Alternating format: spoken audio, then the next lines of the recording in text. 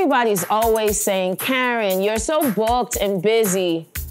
Well, I guess they're right, but I'd prefer them to say, Karen, you're booked, busy, and tired. After finishing my business programs, working with sports organizations, and closing some major deals, your girl is exhausted. That's why I'm taking a day to myself.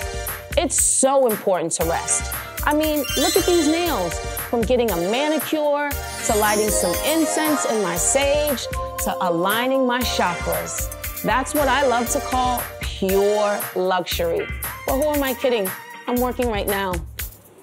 Hey, and we're back with another episode of the Girl I Guess podcast. I'm your co host, Karen Civil.